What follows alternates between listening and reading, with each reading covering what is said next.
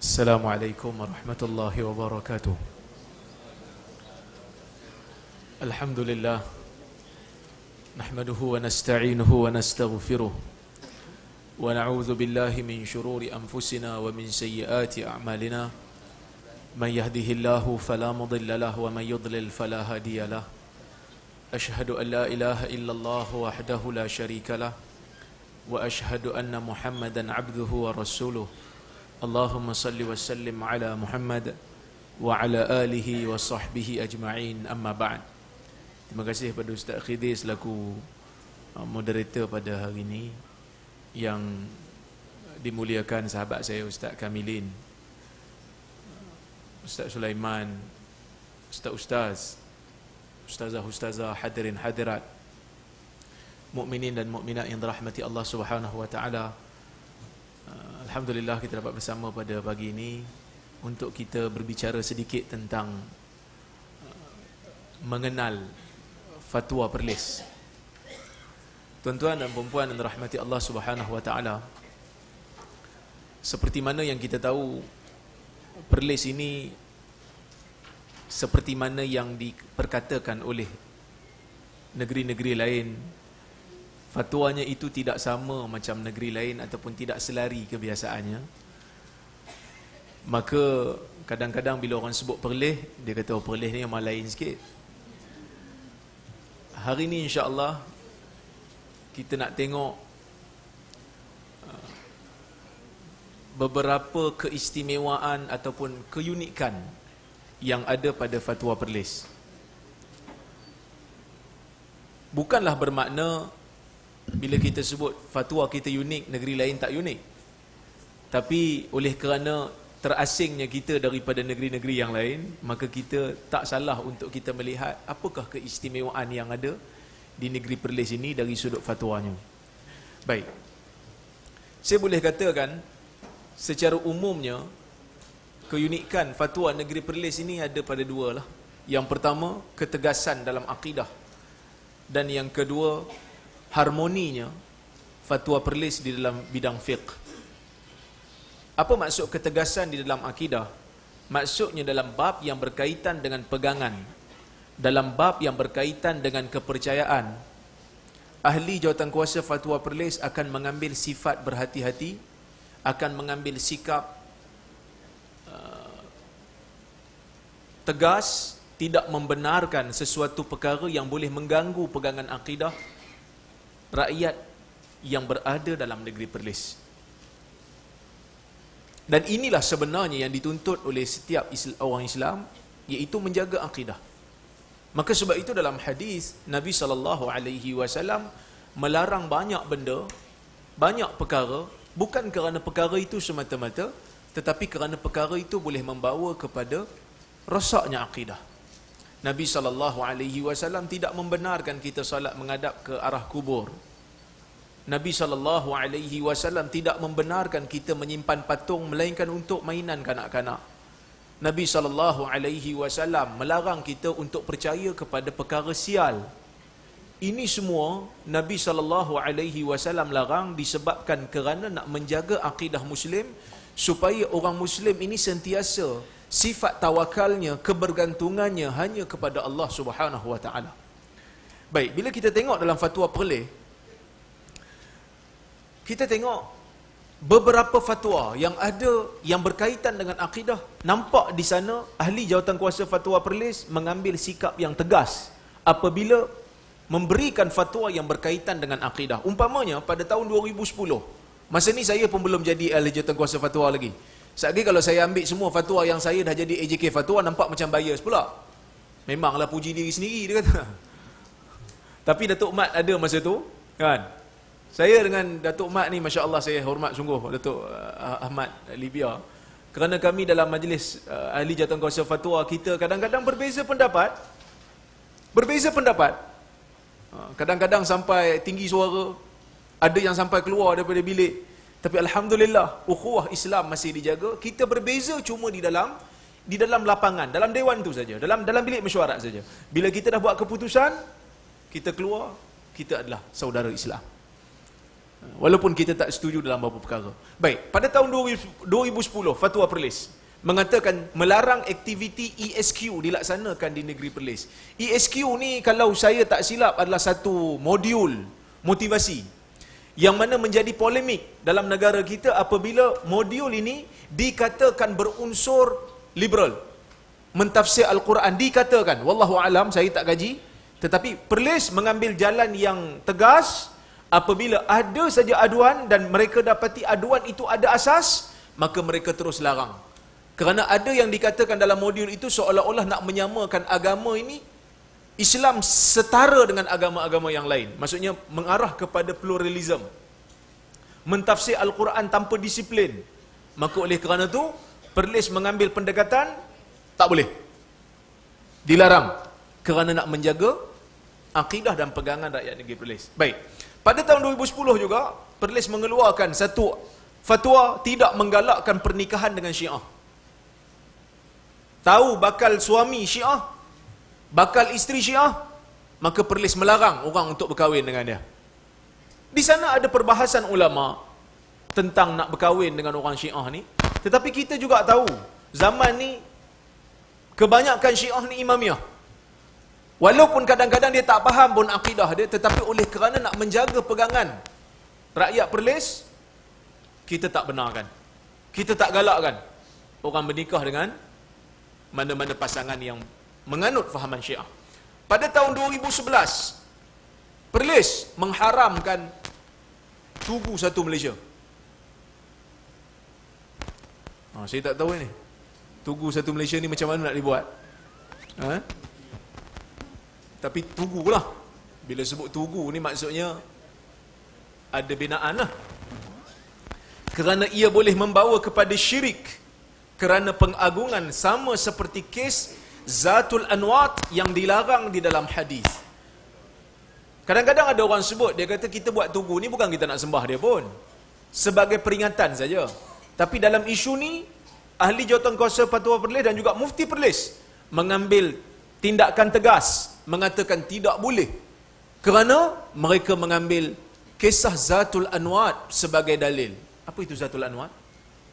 Zatul Anwat ni ada satu hadis yang mana sahabat-sahabat Nabi minta dekat Nabi untuk Nabi jadikan satu pokok sebagai tempat untuk mereka berhimpun dan meletakkan senjata. Seperti mana orang kafir ada satu tempat berhimpun dan dan meletakkan senjata, mereka pun nak juga. Maka Nabi sallallahu alaihi wasallam tak benarkan. Maka oleh kerana itu dengan beberapa fatwa yang kita tengok ni dalam bab akidah alhamdulillah fatwa perlis bersifat tegas lah. ha? tak tak benar kan ha? tak benar kan baik begitu juga pada tahun 2012 Perlis mengeluarkan fatwa berkenaan dengan Syiah iaitu ajaran dan fahaman Syiah adalah satu ajaran yang bercanggah dan menyalahi ajaran Islam yang sebenar. Para penganutnya dikira sesat dan boleh terkeluar daripada Islam, fahaman ini perlu disekat keseluruhannya daripada berkembang. Kerana kita tahu bahaya Syiah apabila dia masuk, dia masuk dengan cinta kepada ahli bait. Tapi lama-lama dia merepek lah. Sampai kata Quran pun tak sempurna, sampai kata sahabat Nabi pun kafir, sampai kata Ummu Mukminin Aisyah radhiyallahu anha kaki zina, maka ini perlu disekat. Kita boleh untuk berbeza pendapat, tetapi berbeza pendapat dalam ruang lingkup yang di, yang dibenarkan. Berbeza pendapat dalam ruang lingkup yang dibenarkan. Tetapi apabila tokoh kita dikafirkan oleh oleh mereka, maka kita kata ini di luar daripada daerah khilaf yang dibenarkan. Baik. Pada tahun 2014, Perlis sekali lagi mengeluarkan fatwa madat. Fatwa melarang penggunaan madat-madat ya Rasulullah. Tuan-tuan dan perempuan rahmati Allah. Bila sebut madat-madat ya Rasulullah ni maksudnya apa? Tolong, tolong wahai Rasulullah. Berikan pertolongan wahai Rasulullah. Bila ada puak-puak yang menggunakan lafaz ini, maka polemik berlaku. Sebab perkataan ini tidak pernah diketahui, diucapkan oleh mana-mana orang yang berada di zaman awal setelah Nabi wafat sallallahu alaihi wasallam. minta tolong pada orang, minta tolong pada makhluk dalam perkara yang dia mampu tolong, yang ni tak ada khilaf. Dibenarkan. Dia bagi tahu kat isteri dia, tolong ambil air jap. Isteri tak boleh kata, Ya Allah, abang dah syirik, mintalah ke Allah. Tak adalah. Kerana minta tolong yang tu, minta tolong pada perkara yang dia mampu tolong.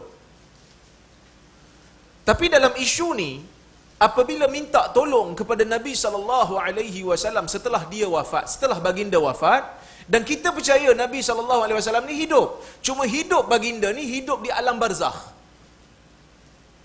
Bila hidup di alam barzakh, maka hukumnya tak sama macam hidup di alam nyata.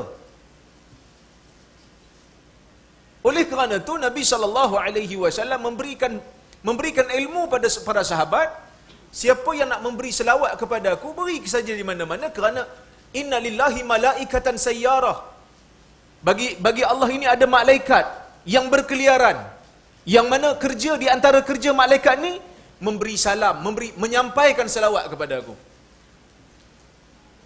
Selain daripada tu bila nabi tak bagi tahu kita tak tahu. Maka oleh kerana tu perkataan madat ya Rasulullah ini menjadi polemik besar. Sehingga memerlukan kepada kita menyatakan fatwa dan pendirian rakyat Perlis. Dan saya pun yakin dan percaya tuan-tuan dan puan-puan, masa tuan-tuan dan puan-puan sebelum-sebelum ni pun jarang dengar kot perkataan madat-madat ya Rasulullah ni. Tak tahulah saya masa kecil pun saya tak pernah dengar perkataan ni. Sehingga diimport masuk baru-baru ni saja. Sebab fatwa ni pun tahun 2014. Mula-mula madat-madat ya Rasulullah, sekarang ni dah madat-madat ya Husain. Madat-madat ya Husain pula dah. Dah lebih kurang sama macam apa yang diucapkan oleh Syiah. Walaupun mereka bukan Syiah, tapi zahirnya lafaz itu biasanya disebut oleh puak-puak Syiah. Kenapa perlis larang? Kerana kita menganggap la, zahir lafaz ni zahir lafaz ni meminta tolong daripada manusia yang telah wafat. Minta tolong daripada manusia yang telah tak ada lagi dalam dunia. Maka sebab itu ia dilarang. Adalah beberapa hadis yang digunakan oleh mereka-mereka yang pro kepada uh, kepada apa? kepada lafaz ini tetapi kesemua hadis-hadis itu tidaklah sahih. Kebanyakannya dhaif dan kebanyakannya boleh difahami dengan cara yang seperti mana tidak seperti mana yang mereka faham. Antara hadis yang mereka guna ialah apabila kita sesat tengah-tengah padang pasir serulah tolong saya wahai hamba-hamba Allah kerana Allah ni ada malaikat. Yang tu sebenarnya malaikat. Ataupun ada yang kata memanglah kalau kita sesat dekat padang pasir? Serulah. Jeritlah tolong saya tolong saya. Kalau dah bisik-bisik siapa nak dengar? Maka oleh kerana tu perlu mengambil pendekatan jangan guna perkataan ni. Sebab perkataan ni zahirnya boleh difahami dengan cara yang salah iaitu meminta tolong daripada makhluk. Dalam perkara yang makhluk tak mampu nak tolong. Dah kalau gitu kita boleh minta tolong ke Abdul Qadir Jailani lah. Wahai Abdul Qadir Jailani tolong saya. Kan? Abdul Qadir Jailani tu orang Arab. Tiba-tiba kita minta dalam bahasa Melayu agak-agak dia faham. Oh. tapi ini yang berlaku. Sebahagian daripada orang kita kadang-kadang seru. Belah India lagi lah. Kan? Dia seru dengan bahasa India dah. So seolah-olah Abdul Qadir Jailani ini memahami pelbagai bahasa. Apa salah kita guna madat-madat ya Allah? Minta tolong pada Allah. Seperti mana yang disebutkan oleh Nabi kepada Abdullah ibnu Abbas. Iza sa'alta fas'alillah. Iza sta'anta fasta'in billah. Ya gulam inni u'allimuka kalimat. Wahai anak muda, aku nak mengajar kepada kamu satu kalimat. Iza sa'alta fas'alillah. Bila kamu nak minta sesuatu, mintalah kepada Allah. Wa iza sta'anta fasta'in billah. Apabila kamu nak minta tolong, minta tolonglah kepada Allah. Iaitu minta tolong pada perkara yang makhluk tak boleh nak bantu. Tolong selamatkan saya. Tolong sehatkan saya. Ini semua adalah hak Allah Azza wa Jalla yang tidak diberikan kepada mana-mana makhluk. Maka sebab itu perlu diambil pendekatan yang tegas, tak benar kan? Kalau nak guna, guna madat-madat ya Allah. Tolong saya, tolong saya wahai Allah. Sebab orang yang mengucapkan kalimah ni, yang merasakan perkataan ni tidak bermasalah. Mereka kata kami bukan minta pada Nabi. Kami minta pada Allah. Kami cuma tawassul kepada Nabi. Ha, kalau kita kata kalau betul nak tawassul, tukar lafaz. Madat-madat ya Allah. Bibarakati Rasulullah. Tolong-tolong wahai Allah dengan keberkatan Rasulullah. Sebab bab tawassul dengan Nabi setelah baginda wafat pun ada khilaf di kalangan para ulama. Kerana apakah yang dimaksudkan dengan tawassul dengan orang saleh ni? Zahir daripada hadis melihat tawassul kepada orang saleh sebenarnya kita menyebut nama dia dalam doa kita dan kita minta doa daripada dia. Itu zahir apa yang disebut dalam hadis. Seperti mana hadis Darir, seorang pemuda yang buta yang datang kepada Nabi minta supaya Nabi doa untuk dia supaya Allah singkapkan buta dia dapat melihat. Sehingga Nabi tanya pada dia, "Awalam tasbir? Adakah kamu tidak sabar? Itu lebih baik untuk kamu. Kalau kamu nak aku boleh doakan supaya Allah Taala singkapkan buta kamu." Maksudnya dia minta doa daripada Nabi. Begitu juga yang ditunjukkan oleh Umar bin Khattab radhiyallahu anhu yang mana ketika mana Nabi sallallahu alaihi wasallam telah wafat, berlaku kemarau di zaman dia, dia berdoa dan bertawassul dengan doa Al-Abbas yang merupakan pak cik Nabi yang masih hidup pada masa itu. Tapi kita tak nafikan dalam bab tawassul dengan orang saleh yang meninggal dunia ni berlaku khilaf di kalangan para ulama tetapi ada beza di antara tawassul dan juga minta daripada makhluk. Ada beza. Tawassul ialah minta daripada Allah dengan kita menyebut nama orang saleh. Yang mana dalam bab ni Zahir lafaz seolah-olah minta kepada minta kepada makhluk. Madad, madad. Ya Hussein umpamanya. Tolong, tolong saya wahai Hussein. Kalau nak betul tawassul dengan Hussein, sebut Allah. Ya Allah tolonglah saya dengan keberkatan Hussein. Itu pun masih ada khilaf. Apatah lagi minta pada Hussein terus setelah dia wafat. Nampak tuan-tuan? Maka dalam isu ni kita ambil pendekatan yang tegas dan kalau orang tak ucap madat-madat Ya Hussein pun tak terganggu akidah dia. Kita pun heran. Kenapa sangat nak ucap sangat benda ni? Saya tanya guru saya.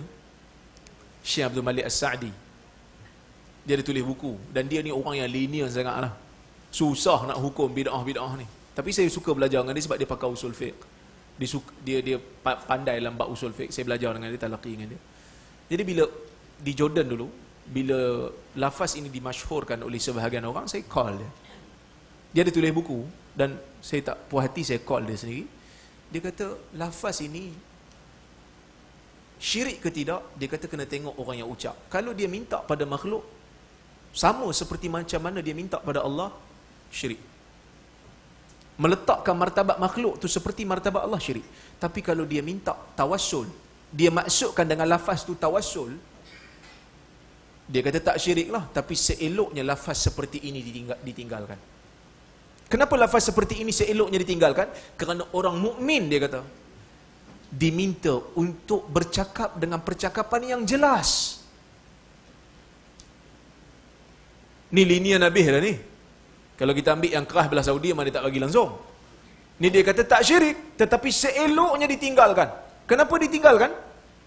Kerana dia kata, setiap mukmin diminta untuk melafazkan dan mengucapkan perkataan yang jelas. Maka sebab itu dalam Al-Quran Allah Subhanahu wa taala tegur orang Islam, para sahabat. Ketika para sahabat kata kat Nabi, "Ya Rasulullah, ra'ina. Ya Rasulullah, ra'ikan kami, tengok kami." Allah Taala kata apa? "La taqulu ra'ina." Jangan kamu kata perkataan ra'ina. Kenapa tak boleh guna perkataan ra'ina? Kerana perkataan ra'ina tu walaupun maknanya jelas, tetapi perkataan itu telah digunakan oleh orang Yahudi untuk menghina Nabi sallallahu alaihi wasallam. Takut-takut sahabat guna perkataan tu Yahudi jadi suka. Tengok Yahudi apa sahabat pun sama. Dok troll Nabi.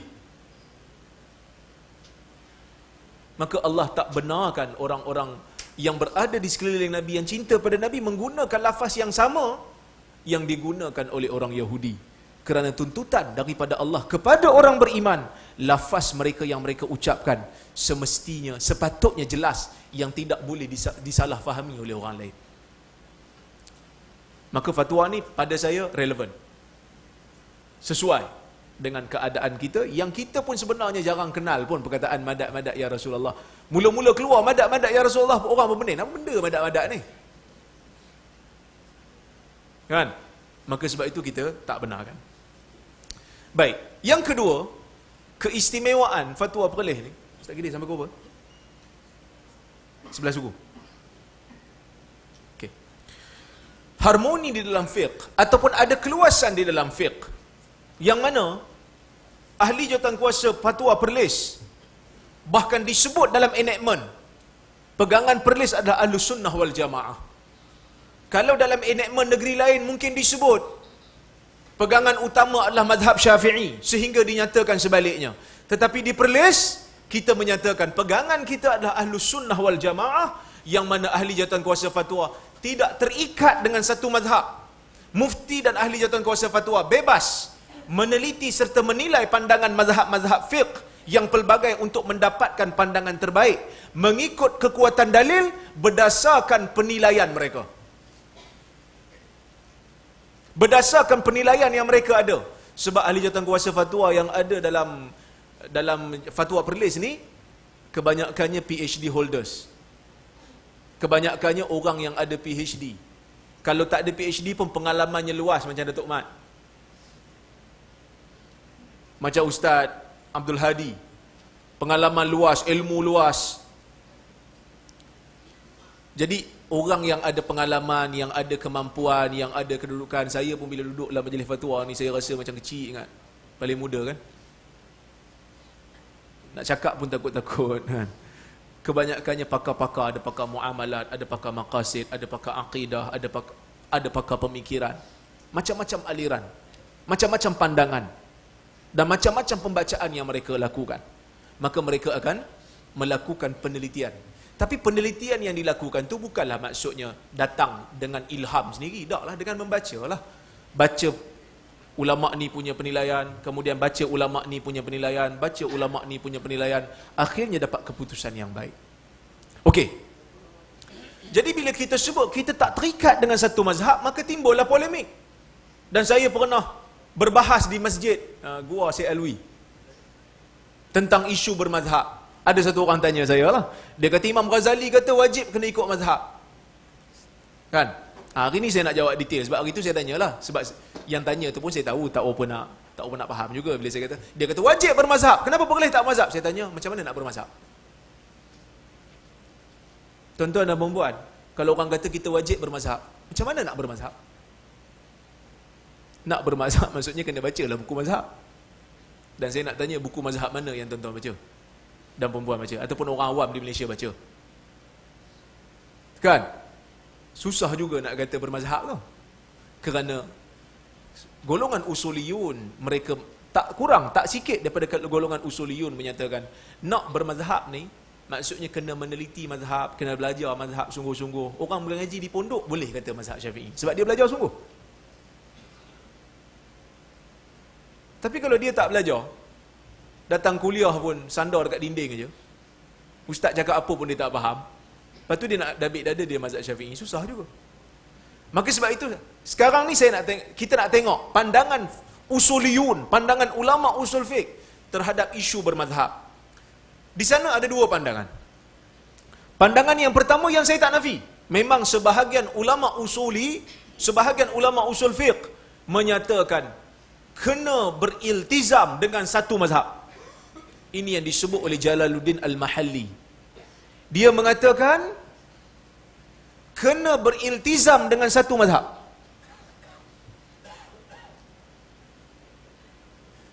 Dan pandangan yang kedua adalah pandangan ramai juga daripada kalangan ulama usul fiqh seperti Syurum Bulali, uh, Al-Hanafi yang bermazhab Hanafi, Imam Nawawi yang bermazhab Syafi'i, Ibn Barhan, Ibn Muflih daripada Hambali dan Al-Mardawi juga daripada Hambali dan juga Ibn Qayyim Al-Jauziyah dalam kitab di I'lam ataupun A'lamul Muwaqqi'in mereka mengatakan tidak wajib untuk orang awam beriltizam dengan satu mazhab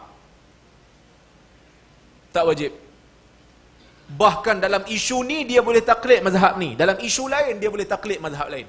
Bahkan Al-Imamun Nawawi menyebut dalam kitab dia Raudatul Talibin dia menyebut والذي يقتضيه الدليل أنه لا يلزمه التمذهب بمذهب بل يستفتي man شاء أو من ittafaq.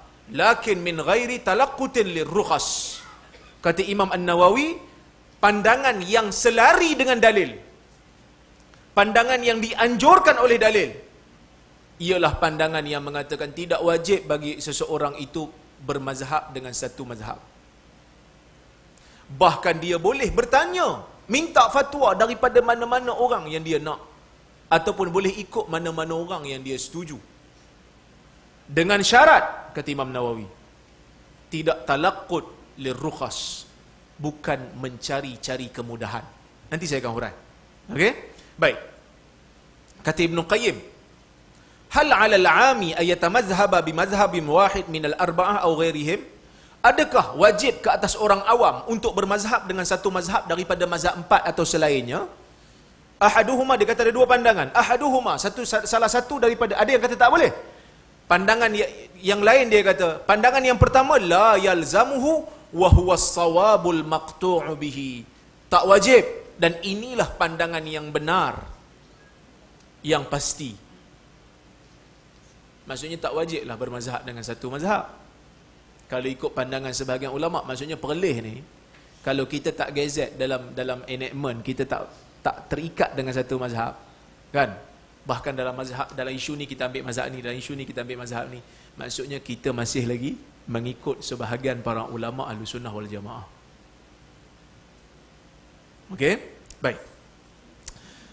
Dalil kita tak tengok dalil dulu. Dalil orang yang kata ataupun ulama usul fiqh bila mana mereka sebut kena bermazhab dengan satu mazhab apa dalil mereka? Dalil mereka yang pertama dia kata tidak terikat dengan mazhab membawa kepada tatabbu' rukhas. Ini biasa orang tuduh boleh. Dia kata kalau tak pegang satu mazhab boleh membawa kepada orang ni mencari-cari rukhsah cari kemudahan. Mana hak mudah ambil? Mana hak susah? Tak nak pakai.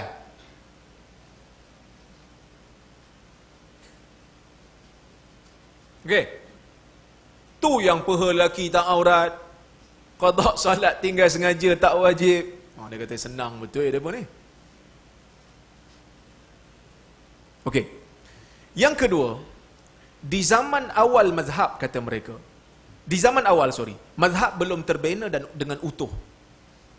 Maksudnya pada zaman awal orang tak mazhab sebab masa itu mazhab belum terbina dengan dengan lengkap. Sekarang mazhab dah ada dah jadi lengkap, so kita kena ikutlah.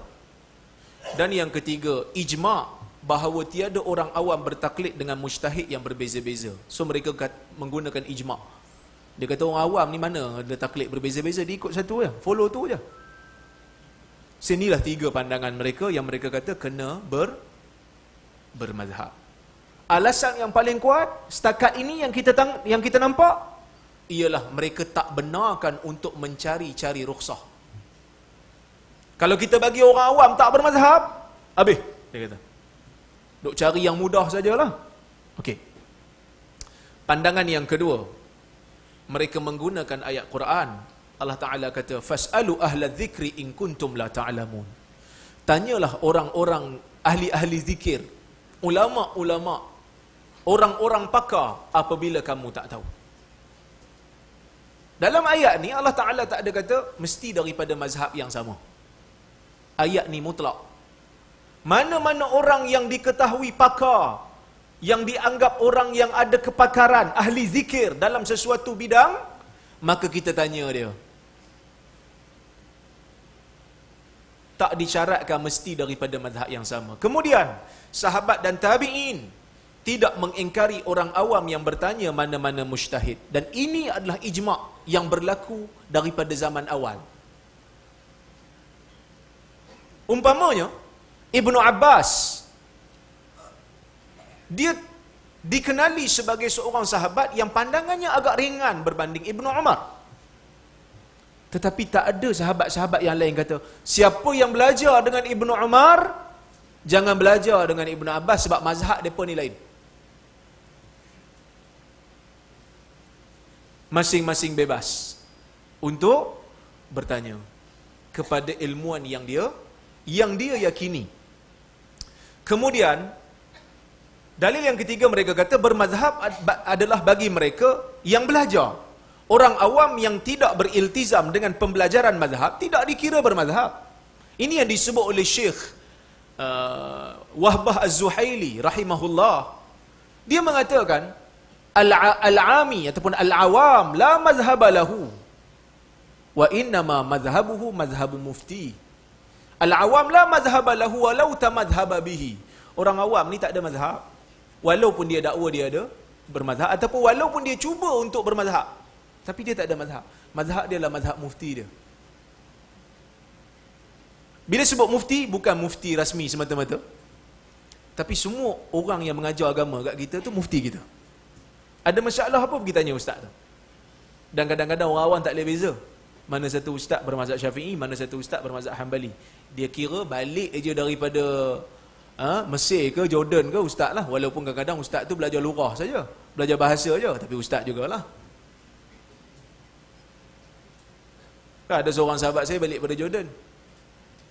Dia bidang ekonomi. Ekonomi pure bukan bukan belajar agama pun. Balik-balik orang panggil ustaz juga. Balik pada Jordan. So orang awam ni dia tak dia tak dapat beza. Mana satu mazhab dia tak dapat beza. Dia tanya aja. Okey? Baik. Kemudian kata mereka asal ketaatan hanyalah pada Rasul. Yang kena taat mutlak ni Rasul. Sehingga kita tak boleh bantah ni Rasul. Kena ikut semua. Kita bermazhab ni bila mana ada ke, dalam keadaan orang awam tak mampu nak berijtihad sendiri. Asalnya Allah Ta'ala suruh ikut Rasul ya. Tak ada makhluk lain yang Allah jadikan ketaatan mutlak ke atas mana-mana umat melainkan hanyalah pada Rasul. Habis itu pasal apa kita bermazhab? Mazhab ni muncul bila orang dah tak ada kemampuan nak ambil hukum daripada Quran dan Sunnah. Maksudnya mazhab ni datang kerana ada keperluan. Tapi keperluan itu tidaklah menjadikan kita ni jadikan mazhab tu macam agama sehingga tak boleh keluar.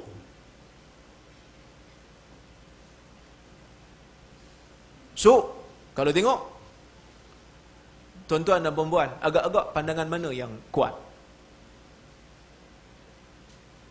Okey. Pandangan yang tepat bagi penilaian saya ialah pandangan kedua. Okey? Dakwaan ijma' pada pandangan pertama tidak benar. Sebab yang pertama kata ijma' juga. Ijma' orang awam tak tanya mujtahid yang berbeza-beza. Dia lazimi satu mazhab. Tidak dikenali di zaman awal orang menamakan diri sebagai Bakriyah, Umariyah atau seumpamanya. Bakriyah ni pengikut Abu Bakar lah. So Abu Bakar pun mengajar juga kan. Abu Bakar pun ada pandangan juga. Tak pernah kita dengar mazhab Bakriyah. Tak pernah kita dengar mazhab Umariyah.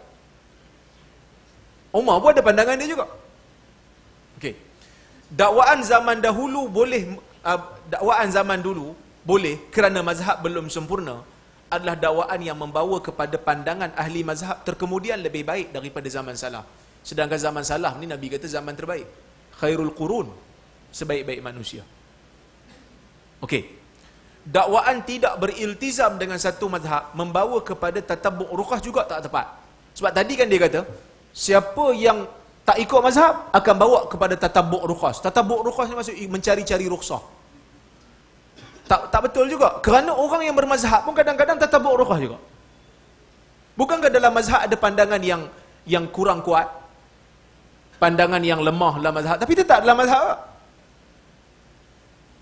Maka kalau ketakutan kita ataupun kegelisahan kita nak suruh orang bermazhab takut tatabuk ruqas, dalam mazhab pun boleh tatabuk ruqas.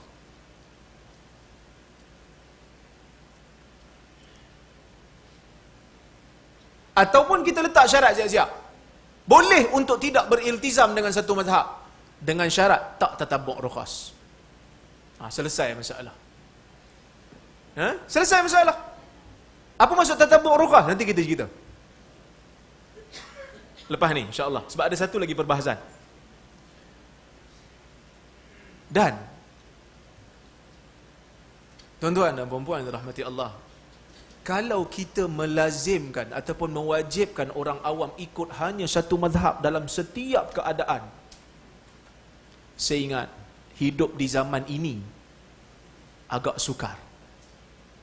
Sekali orang kata saya hina pula. Saya tak hina mazhab. Tapi kita tak boleh nak tak boleh nak nak nafikan nak berpegang dengan satu mazhab dalam setiap keadaan sukar di zaman ini. Kenapa saya kata sukar? Kenapa saya kata susah? Terutamanya bab-bab yang berkaitan dengan muamalat umpamanya. Bab-bab yang berkaitan dengan muamalat, tuan-tuan dan puan pergi kat bank. Pergi bank Islam ke, bank muamalat ke, bank Islamik ke, Hong Leong Islamik ke. Tuan-tuan dan puan-puan, masa kita berurus niaga dengan bank-bank ni, agak-agaknya, dia mazhab apa? Bank tu, bank tu mazhab apa? Saya sendiri berjumpa dengan penasihat bank negara, orang nombor satu. Yang dalam Malaysia ni kira dia nombor satu lah orang Melayu. Menjadi penasihat bukan hanya di bank negara. Antara bangsa.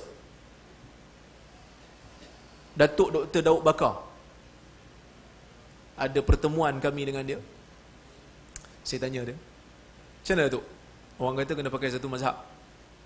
Dia kata dalam bank. Susah. Sebab kita kadang-kadang terikat dengan sistem. Terikat dengan bank negara. So kita kadang-kadang kena pakai mazhab ni, kena ambil mazhab ni, kena ambil mazhab ni. Dia kata kita dalam bank Islam ni, free mazhab. Ya? Maksudnya ambil mazhab ni kalau kita nampak yang ni kuat. Ambil mazhab ni kalau nampak mazhab ni kuat. Dan kuat tak kuat ni ikut penilaian kita lah. Penilaian orang yang ada kemampuan lah. Penilaian ahli fatwa lah. Sekali orang kata pula, hang siapa? Orang kata kat kita, hang siapa? Nak kata tu kuat, tu tak kuat. Tuan-tuan, setiap daripada kita yang namanya ilmuwan, dia akan buat keputusan. Orang yang nak ikatkan diri dia dengan mazhab, kita tanya dia. Pasal apa ikut mazhab syafi'i? Dia akan kata mazhab syafi'i dari sudut penilaian saya lebih baik daripada mazhab lain. Hang siapa? Kita boleh tanya soalan yang sama. Hang siapa nak kata mazhab lain tak baik? Lah kali sampai sudah. Sampai kiamat tak habis. Kalau kira darjat-darjat ni sampai sudah tak habis lah. So, penilaian tu perlu kepada objektif. Maka sebab itu tuan-tuan dan perempuan rahmati Allah. Kalau ada tuan-tuan dan perempuan yang rahmati Allah, contohlah dalam urus urus niaga sehari-hari. Nak pergi beli rumah umpamanya bayar deposit seribu. Booking, booking. Deposit bayar seribu, booking. Kalau jadi, tu sebahagian daripada harga. Kalau tak jadi, apa jadi? Pada booking tu, duit tu? Burn. Betul? Sah ke tak sah? Jual beli itu sah ke tak sah? Ikut mazhab syafi'i. Ikut mazhab syafi'i tak sah. Kerana tu dinamakan urbun, makan harta orang secara batil. Kalau jadi dia kata saya bayar seribu dulu nak booking rumah ni. Kalau jadi sebahagian daripada harga rumah. Kalau tak jadi burn. Bila burn, burn sebab apa? Rumah tak dapat, apa pun tak dapat. Tiba-tiba dia makan seribu. Mazhab Syafi'i tak sah. Hambali yang kata sah berdasarkan riwayat Omar yang nak beli penjara, dia buat benda yang sama. Pada tuan tanah. Dia beli tanah pada Sofwan bin Umayyah tak silap. Betul Ustaz Kamilin? Anda tak ingat? Tapi riwayat tu ada. Hambali pakai. So semua yang bayar booking rumah tu, dah tukar mazhab Hambali.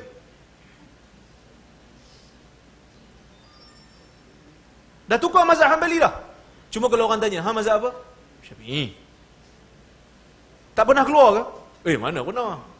Kita mesti beritizam, mempertahankan. Tapi dalam bab beli rumah pun dia kantoi dah. Beli motor, motor kapcai. Ha, beli dekat bank, pembiayaan. Nak beli cash tak ada duit. Beli secara ansuran. Beli ansuran ikut kaedah mazhab Maliki. Kerana sebelum beli tu, kita kena buat agreement dengan bank dulu. Janji nak sewa motor tu dekat bank selama beberapa tahun. Dan kalau kita mungkin janji tak cukupkan tempoh sewaan, bank boleh kenakan denda pada kita. Janji, memenuhi janji, sepakat ulama wajib. Bila kita berjanji dengan seorang, kita wajib untuk tunaikan. Selagi mana bukan maksiat. Tapi nak ambil tindakan pada orang yang berjanji bila dia tak tunaikan, yang ni khilaf. Janji wajib untuk ditunaikan, tapi nak ambil tindakan pada orang yang tak tak tepati janji. Ha ini khilaf. Ini khilaf. Boleh ambil tindakan tak? Saya nak dakwa dia nak saman dia. Pasal apa? Dia janji nak kahwin dengan saya tak tak kahwin. Terus. Di akhirat dia kena lah sebab mungkin. Tapi boleh tak ambil tindakan undang-undang? Ulama beza pendapat. Maliki mereka mengatakan kalau seseorang berjanji pada orang lain seorang tu dia janji dengan orang lain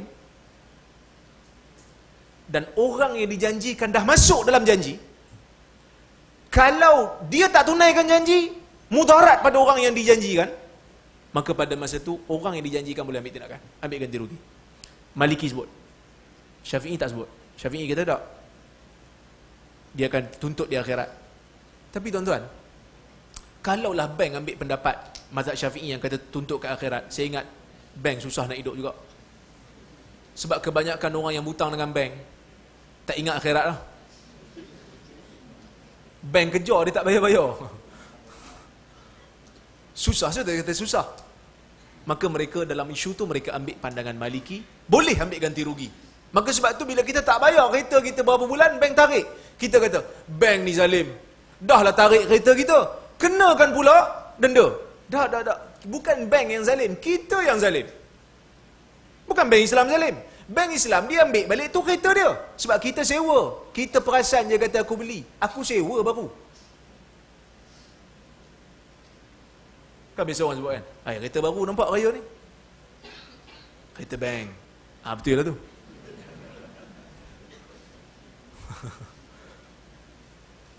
Memang kereta bank pun kita sewa je. Ha, lepas tu bila bank tarik, bank tarik kereta dia. Bukan kereta kita. Lepas tu bila dia kenakan denda sebab kita zalim tak bayar sewa. Dia dah beli kereta tu atas janji yang kita buat, kita tak bayar sewa. Dia kena bayar dekat pembekal. Dan dia keluarkan duit kepada pembekal, dia akan rugi. Maka sebab tu kita guna mazhab Maliki. Waktu kita berurusan dengan bank, beli kereta, beli motor, tak pernah tanya kan? Uh, saya minta maaf. Bank ni mazhab apa? Tapi orang kata tak apa, bank Islam halal. So kita pun pergi berurus niaga apa semua, tak ada masalah. Tapi kenapa bila masuk ke negeri Perlis, bila kita declare, kita terbuka memilih mazhab yang kita rasa tepat mengikut penilaian ahli jatuh kuasa fatwa, tiba-tiba kita dipandang sinis. Seolah-olah melain pada negeri lain. Sedangkan kita juga mengamalkan apa yang diamalkan oleh orang lain. Kalau nak kecam, kecam sekali dengan bank-bank Islam boleh masuk game perlis sekali dengan beng-beng Islam ni. Kan? Tapi sebenarnya yang kecam ni bukan ilmuwan pun kadang-kadang orang-orang bawah aja. Kan? Yang tak faham. Ha, syarat memilih pandangan ulama bila kita kata tak wajib berpegang dengan satu mazhab. Ali jatuh ke fatwa tak wajib pegang dengan satu mazhab. Apa nak di apa syarat nak pilih ni? Syarat nak pilih adalah memilih pandangan yang terkuat dan yang paling selamat untuk agama berdasarkan riwayat Imam Ahmad. Imam Ahmad kata apa? Lau anna rajulan amila biqauli ahli al-kufah fi an-nabiz wa ahli al-madinah fi as-sama' wa ahli makkah fi al-mut'ah kana fasiqa. Kalaulah dia kata seorang lelaki mengamalkan pandangan ahli kufah dalam nabiz tua. Ahli kufah kata halal majoriti ulama kata haram. Mengamalkan ah, pandangan ahli madinah dalam bab sama' dalam bab apa muzik kemudian mengamalkan pandangan ahli Mekah dalam mut'ah, dia akan jadi fasik. Sebab dia mencari rukhsah. Mana yang mudah, ambil kat dia. Okey?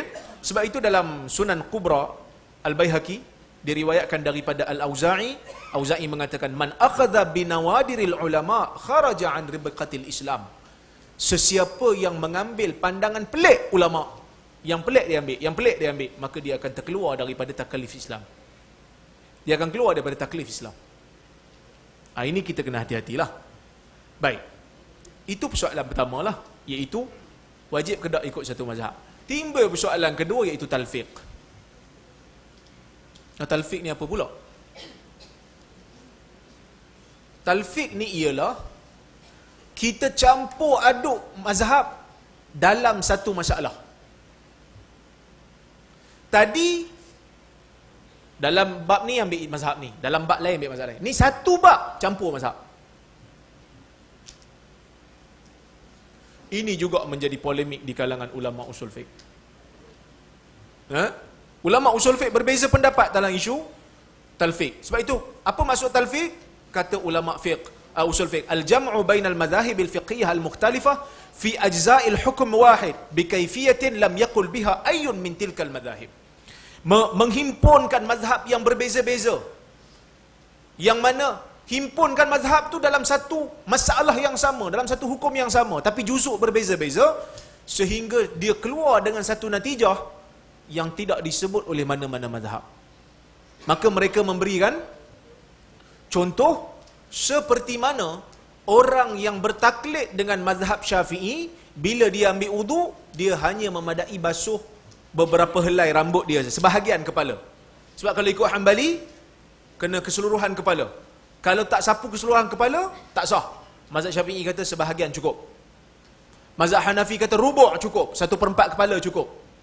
So dia ambil mazhab Syafi'i sapu sebahagian. Kemudian dalam bab batalkan wudu dia ambil Hanafi. Bab batalkan wudu dia ambil Hanafi. Pasal apa?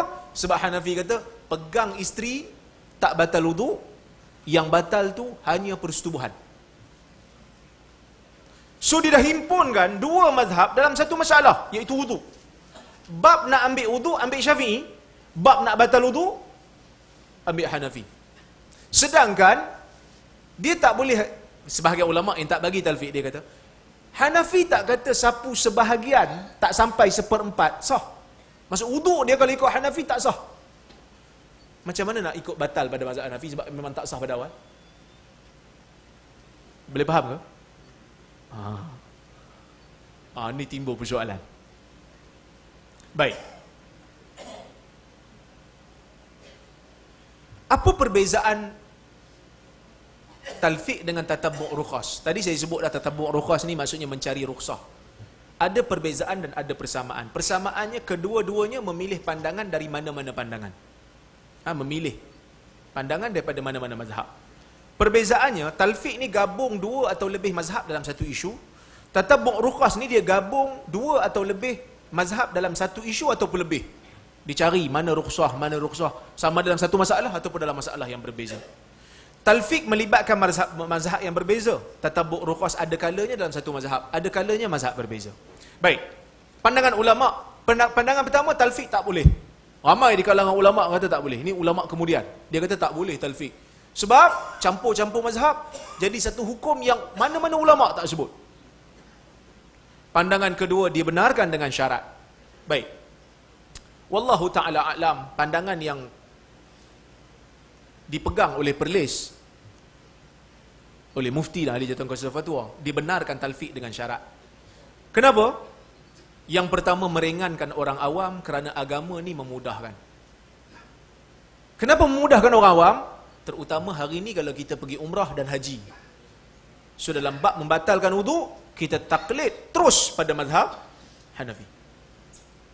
Sebab mazhab Syafi'i sentuh orang yang bukan isteri uh, yang bukan mahram ni, isteri ke bukan isteri ke, sengaja ke tak sengaja ke, ada syahwat ke tak ada syahwat ke, batal. Itu mazhab Syafi'i. So kalau kita nak implementasikan mazhab ni dalam keadaan di Mekah terlalu ramai orang so akan membebankan orang awam. Kerana tak macam dulu ambil wuduk dekat. Sekarang ni ambil wuduk jauh. Kan? Maka pada masa tu ha, tabung haji pun dah fatwa kan boleh ikut Hanafi.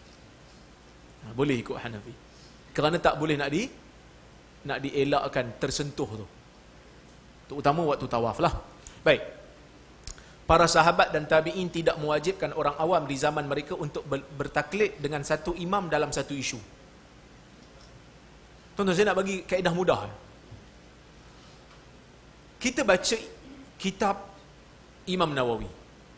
Umpamanya. Tuan-tuan buka kitab Imam Nawawi.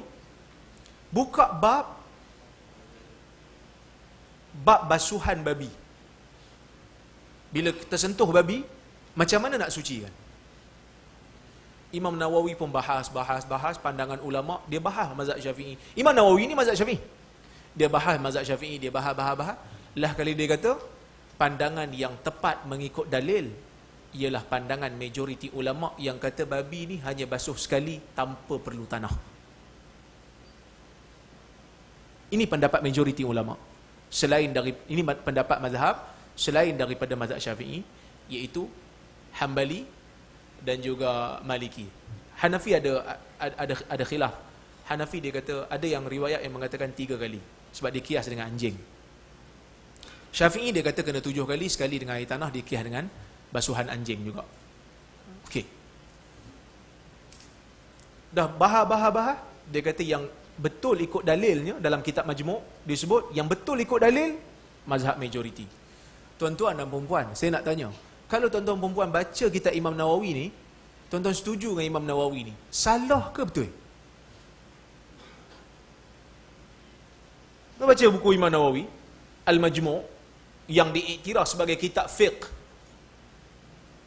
Tuan-tuan baca, tuan-tuan setuju dengan Imam Nawawi lah masalah tu. Imam Nawawi lah masalah tu tak ambil mazhab Syafi'i dalam masalah tu. Tuan-tuan kata setuju. Betul juga penilaian Nawawi. Tuan-tuan ikut Nawawi. Sesat ke tak?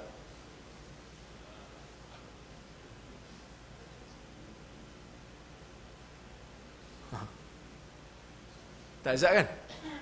Tak tahulah kalau tuan-tuan kata sesat, saya tak berani. Takkan ikut Imam Nawawi pun sesat? Tuan-tuan buka kitab Imam Bayhaqi. Sunan Kubra Imam Bayhaqi. Imam Bayhaqi ni dikatakan tonggak mazhab Syafi'i. Bahkan dikatakan Imam Syafi'i terhutang budi dengan Bayhaqi. Sebab Bayhaqi menulis kitab Sunan Kubra cari dalil yang digunakan oleh mazhab Syafi'i. Cari mana-mana hadis dalam mazhab Syafi'i. Tapi tiba-tiba dalam bab air musyammas, Imam Baihaqi kata hadis-hadisnya daif. Air musyammas, dia kata hadis-hadisnya daif. Tuan-tuan setuju dengan penilaian Baihaqi? Nak ikut Baihaqi. Sesat ke tak sesat? Dalam isu tu je nak ikut Baihaqi. Takkan sesat. Maka sebab tu, bab talfik ni, walaupun orang kata, dia campur-campur mazhab sehingga tak ada mazhab yang kata begitu. Sebenarnya tak. Sebenarnya dalam isu sahnya salat kita taklid Imam Syafi'i. Dalam bab batalnya kita ikut Imam Hanafi. So wuduk kita sah mengikut Syafi'i. Tapi bila nak batalkan kita ikut Hanafi apa apa problemnya?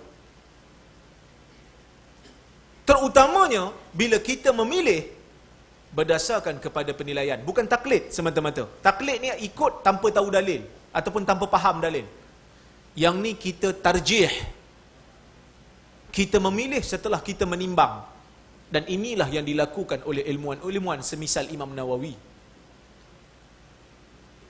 Maka sebab itu dalam dalam kitab Al-Majmu' ada ikhtiarat Imam Nawawi. Maksudnya pilihan pandangan-pandangan pilihan Imam Nawawi yang tidak selari dengan muktamad dalam mazhab Syafi'i. So sebab tu kita kata tidaklah menjadi satu kesalahan. Tapi dengan syarat lah. Pilih tu disebabkan oleh kerana kekuatan hujah dan dalil. Tapi bukan semua orang boleh buat lah, ilmuwan lah. Ha, macam tuan-tuan dan perempuan ni ada tauliah kan, boleh mengajar. So kalau ada kemampuan, boleh buat penilaian. Tapi dengan syarat lah ada kemampuan. Boleh bahas tentang hadis, boleh faham tentang hadis. Perbahasan sanad, boleh faham usul fiqh. Boleh buat imam-imam dalam mazhab juga kadang-kala keluar daripada mazhab sendiri seperti Al-Baihaqi dan Imam Nawawi dalam beberapa isu. So tak salah tak ikut dua mazhab ni? Tak salah. Okey, apa syarat dia talfik ni? Syarat dia yang pertama kalau kata boleh tadi dengan syarat. Apa syarat ni? Yang pertama menjauhi tatabbu' rukhas. Menjauhi mencari-cari rukhsah. Yang kedua ada keperluan untuk talfik. Bukan berdasarkan hawa nafsu, kemudian tidak menyanggahi ijma' atau nas yang qat'i. Seperti dia bertaklid syafi'i pada menyatakan arak dan nabis adalah sama. Dalam bab nak menyamakan kedua-duanya dia kata sama. Arak dengan tuak sama. Tapi dia taklid mazhab Hanafi yang mengatakan tuak tu halal. Lepas tu dia kata oleh kerana mazhab Hanafi tuak halal syafi'i kata sama so arak pun halal sekali. Yang ni tak boleh kerana menyanggahi nas yang qat'i dan ijma' Kemudian tidak menyanggahi maqasid syarak seperti seseorang berkahwin tanpa wali kerana ikut Hanafi. tanpa saksi kerana ikut maliki dan tanpa sebutan mahar kerana ikut syafi'i. Dia himpun habis rukhsah. Ulama yang sebut boleh. Boleh talfiq dia kata dalam bab nikah perlu berhati-hati kerana nikah ni berkaitan dengan maruah orang. Dan melibatkan nasab. So kena hati-hati. Baik. Kemudian talfiq juga tidak boleh menggugurkan kes yang telah diputuskan oleh mahkamah. Kalau mahkamah dah putuskan kena ikut.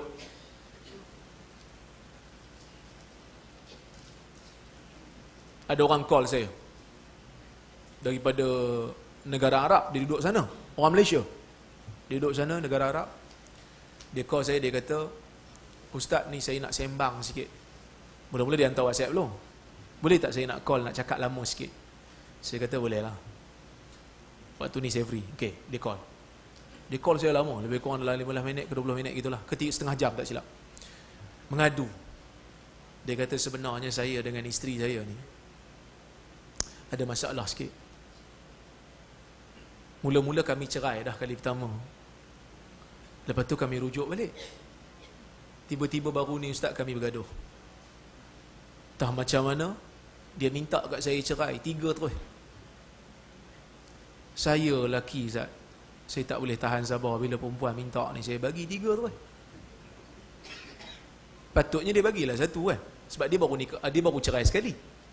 Saya bagi tiga terus jadi macam mana keadaan saya ni Ustaz? Sebab bila dah duduk menung lama-lama ni susah juga. Rasa macam nak nak rujuk balik. Kan?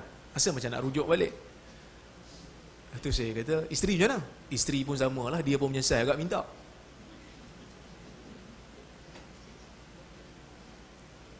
Saya kata dalam isu ni memang ulama' ada dua pandangan. Bila letakkan talak dua serentak, tiga serentak ni memang ada dua pandangan. Pandangan majoriti, pandangan yang kata kalau bagi serentak dua terus, tiga terus jadi terus. Kalau pendapat sebahagian ulama seperti Ibn Taymiyah dia kata talak ni kira satu-satu. Letak tiga serentak pun satu lah. Tapi masalahnya Ustaz, kami dah bicara dah. Bicara kat mana? Mahkamah wilayah. Maksudnya dah balik lah. Dah balik dah. Dah balik Malaysia dah. Dah, dah, dah gugurkan kes. Maksudnya uh, dah bicara lah ni. Dah bicara lah. Mahkamah kata apa? Mahkamah kata jatuh tiga. Okey, kalau dah mahkamah jatuh tiga je, so call saya kenapa? Kalau-kalau boleh nak bicara balik dia boleh. Ha, so saya kata dalam isu ni tak boleh lah. Sebab hakim telah memutuskan jatuh tiga. So tak boleh nak talfik pergi mazhab lain. Kerana mahkamah bila dah hukum, hukmul qadhi yarfa'ul khilaf. Hukuman qadhi, hukuman hakim mengangkat khilaf. Dia tak boleh kata, ah, saya sebenarnya mazhab lain hakim. Sorry lah. Tak, hakim Tugas hakim mengangkat khilaf. Betul dia kata, saya kata kat dia, kalau boleh buat rayuan, buat rayuan. Kan? Tapi hukum tu kekal lah. Hukum setakat ni kekal lah. Ha, okey. Uh, begitu juga, syarat dia tak boleh membatalkan taklid yang lepas sedangkan kesannya masih ada. Seperti orang yang menikah dengan wali kerana taklid kepada eh, sorry, tanpa wali kerana taklid pada Hanafi. Lepas tu dia ceraikan isteri dia dengan talak tiga serentak. Lalu setelah talak tiga tidak halal isteri tersebut, maka dia taklid dengan Syafi'i dengan mengatakan nikah tu tak sah daripada awal. Boleh faham tak? Macam ni. Dia nikah ikut mazhab Hanafi tanpa wali. Lepas tu dia ceraikan isteri dia talak tiga. Saya ceraikan awak talak, tiga. Hakim kata okey jatuh tiga. Lepas tu dia kata, sorry Hakim. Saya masa nikah tu ikut Hanafi. Saya nak ikut Syafi'i. Pasal pun nak ikut Syafi'i? Sebab sekarang ni kan dah talak tiga. Isteri tak boleh nikah dengan saya. Melainkan nikah orang lain dulu. Lepas tu kena bersama dengan lelaki tu. Cerai. Habis edah. Tu pun kalau lelaki tu tak, tak rujuk lah. Habis edah baru saya boleh kahwin balik dengan dia. Tu pun kalau dia nak balik kat saya. Susah. Jadi macam ni saya buat. Oleh kerana saya nikah tanpa wali ikut mazhab Hanafi. Ah, macam tu saya nak taklid Syafi'i. Kenapa tak Syafi'i? Maksudnya kalau nikah tanpa wali tak sah ikut Syafi'i. Maksudnya seolah-olah macam saya tak nikah dengan dia terus. Jadi talak saya tak sah. Ha. Dia tak payah kahwin dengan orang lain, dia kahwin dengan saya. Tak boleh. Ini dinamakan sebagai tatabuk ruqah. Clear? Dia dah taklid satu benda, kesan-kesannya, dia kena hadap lah. Okey? Baik. Dan pelaku talfik meyakini dan mempercayai hukum yang dipilih dalilnya lebih kuat. Okey? Baik. Uh, saya rasa, saya kira cukup satu, cuma ada beberapa benda yang saya nak sebut. Masa pun tak cukup pula. Uh, ini di antara fatwa-fatwa panas negeri Perlis.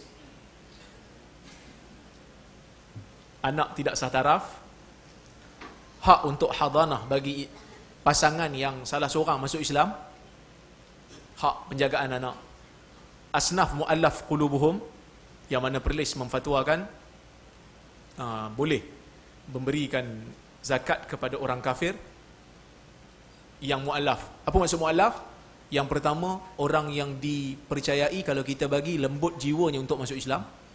Yang kedua orang kafir yang kita percaya kalau kita bagi tidak memudaratkan Islam. Ha? jadi ini fatwa perlis yang mengatakan boleh bagi uh, zakat kepada muallaf qulubuhum iaitu orang yang belum Islam tetapi dengan syarat. Yang nak bagi kepada orang yang bukan Islam ni bukan rakyat. Tetapi kepada mufti. Kerana mufti yang boleh nilai uh, maslahah kepentingan. Nak tengok orang ni ada kesan tak kalau kita bagi? Itu fatwa boleh dan juga khitan orang perempuan. Yang mana khitan orang perempuan ni kalau ikut mazhab syafi'i memang Uh, digalakkan. Ada riwayat kata wajib berdasarkan hadis Ummu Atiyah. Kalau kita orang perempuan dalam mazhab Syafi'i wajib kan? Saya tak ingat ha, wajib. Tapi mazhab Hambali dia kata tak wajib. Dia kata makramah. Ha, dia kata kemuliaan. Berdasarkan hadis uh, riwayat hadis yang kata al-khitan makramatul lin nisa' khitan itu kemuliaan bagi orang wanita. Tapi hadis itu daif. Ada hadis Ummu Atiyah juga daif.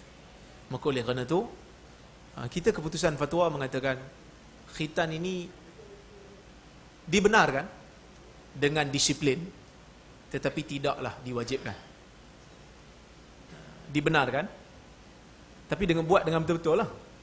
Dia tak boleh buat macam khitan Firauni. Khitan Firaun yang dilakukan di Mesir dia potong habis. Begitu juga hak hadanah yang saya sebut tadi, kalau pasangan tu asalnya bukan Islam, kemudian salah seorang masuk Islam, seorang tak masuk, Perlis mengatakan anak itu akan kembali kepada orang yang layak memberikan syafaqah kepada anak tu. Yang layak memberikan kasih sayang pada anak tu, terutama bila anak tu menyusu badan, dalam tempoh susuan, dia mesti duduk dengan mak dia. Tak kira lah mak dia masuk Islam ke, tak masuk Islam ke, tapi duduk dengan mak. Lepas tempoh susuan, berikan kepada orang yang layak memberikan syafaqah kasih sayang pada dia dan kalau dia dah sampai kepada tempoh memayis maka dia diberi pilihan kecuali kalau dia pilih orang yang antara ibu ayah dia yang boleh membahayakan hidup dia. Maka pada masa tu pelih kata tak ikut agama. Nak duduk dengan siapa tak ikut agama? Dia ambil pendapat Hanafi dan juga Maliki. Kalau Syafi'i tak bagi Hanbali tak bagi. Tapi dia ambil Maliki dan Hanafi dalam bab orang yang kahwin dengan ahli kitab kalau bercerai anak bagi kat siapa? Anak bagi kat ahli kitab. Ha, kerana syafaqah dia kata. Kerana kasih sayang tetapi dalam fatwa ni kita tetap nyatakan sebab apa ni kita nak jaga juga agama budak tu kita katakan ayah mesti diberi ruang untuk mengajar agama kepada anaknya maksudnya yang yang Islam tu mesti diberi ruang kalau ayah masuk Islam ayahlah diberi kalau mak masuk Islam maklah diberi Okey? Ayah mesti ataupun mak yang Islam tu mesti diberi ruang untuk mengajar agama kepada anak dia kalau anak dia duduk dengan orang lain. Maksud kalau anak duduk dengan pasangan yang tak Islam. Mesti diberi ruang mengajar agama. Ha, itu fatwa yang kita keluarkan kerana kita memahami uh, manusia ni kadang-kadang dia ialah macam-macam perangai kan. Jadi takut-takut dia menggunakan Islam nak dapatkan anak sedangkan perangai dia tak elok. Maka pada masa itu takut menimbulkan dendam si anak kepada agama Islam tu sendiri yang kita tak mau. Takut dia dendam lah. Pisahkan dia dengan mak dia kan. Ah, dia tambah benci pada agama. Sedangkan kita nak suruh dia masuk agama Islam. Maka sebab tu kita kata ruang untuk belajar agama mesti ada. Wallahu ta'ala alam. Okey? So Ustaz Khidir kata masa pun dah habis. Apa soal, soal jawab? Berapa minit? 10 minit soal jawab. Sampai pukul 11.30. Kalau ada soalan ke nak kritik saya ke boleh. Tak ada masalah. Kalau saya silap di mana-mana.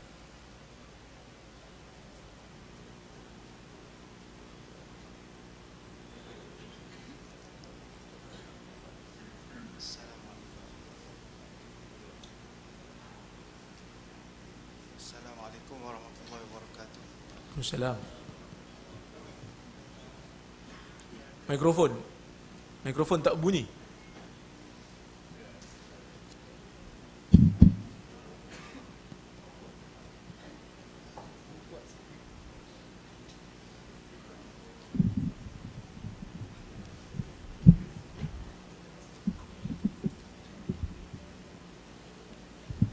Assalamualaikum warahmatullahi wabarakatuh. Waalaikumsalam. Saya Azmir bin Alim uh, Student Dr. Mazhar Master 2010 Jadi tadi sebelum masuk tadi uh, Semua hadirin diminta untuk menandatangani apa amanat ni kan jadi amanat yang tujuh ni jadi saya menjunjung perintah ataupun amanat uh, tuanku Raja Perlis. Saya rasa doktor dah sign dah ke dah belum kata. Mana dalam amanat ini menyebut bahawa hendaklah semua yang bertugas dan berada amanat kedua itu diberi kefahaman yang jelas tentang pegangan perlis yang kedua tu. Dan juga amanat yang ketiga juga anak-anak di Perlis hendaklah mewarisi kefahaman yang jelas tentang ahli sunnah.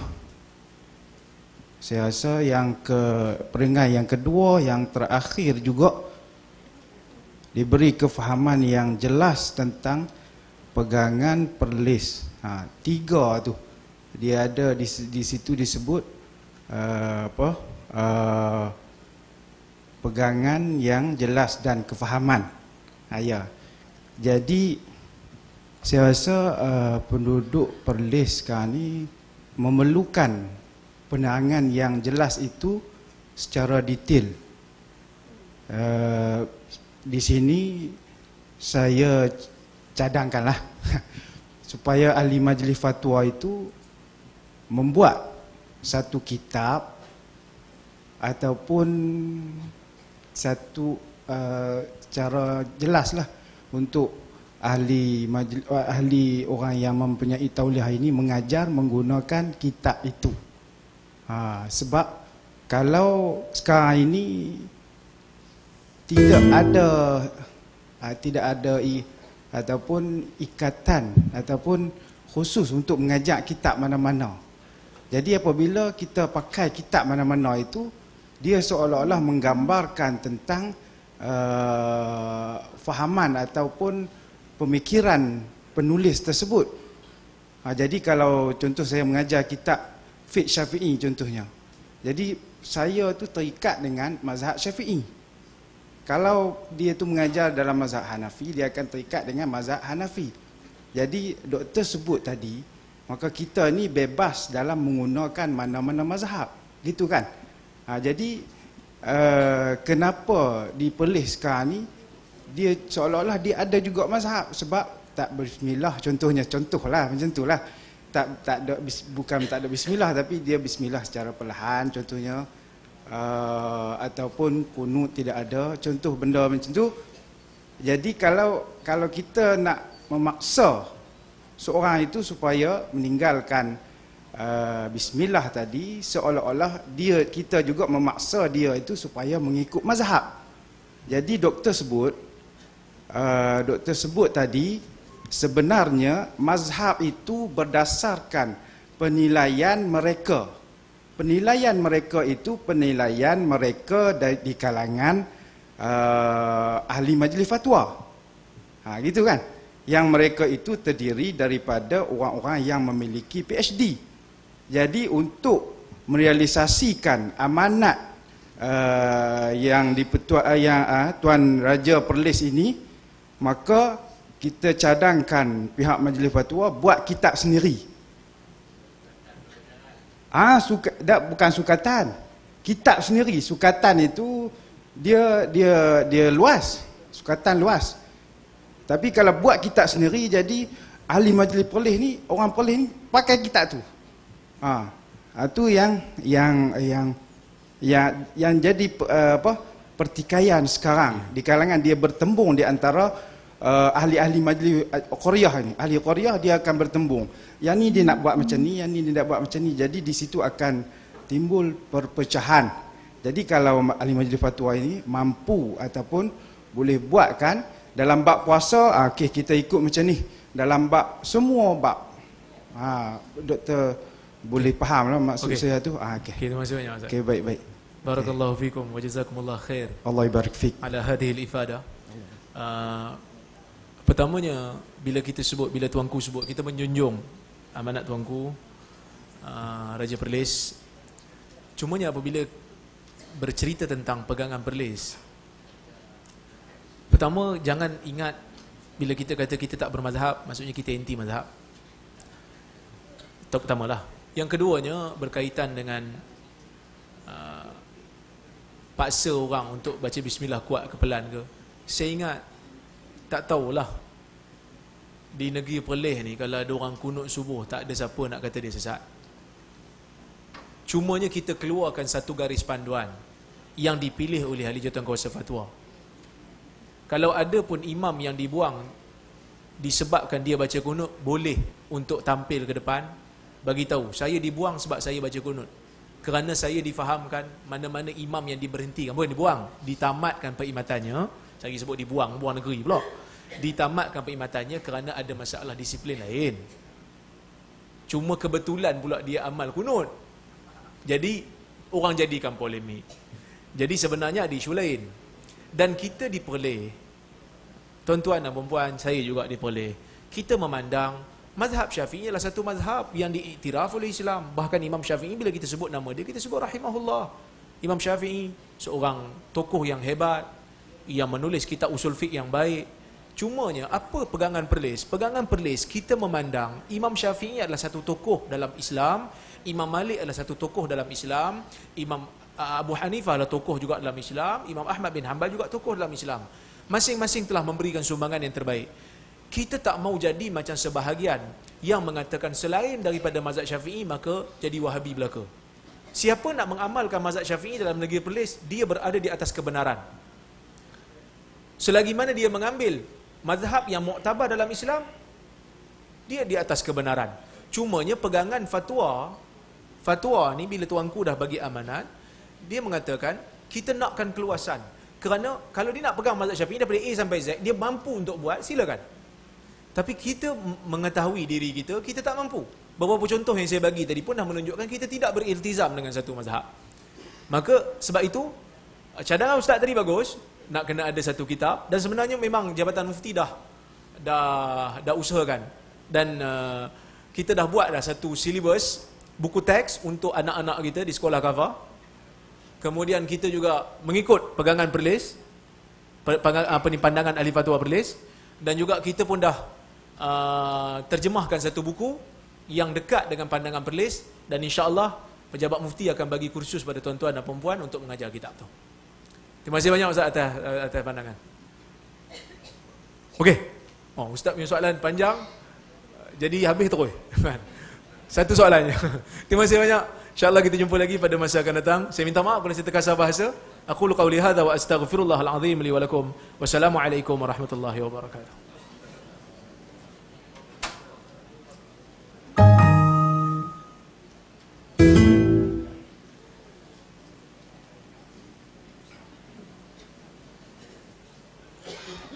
Waalaikumsalam warahmatullahi taala wabarakatuh.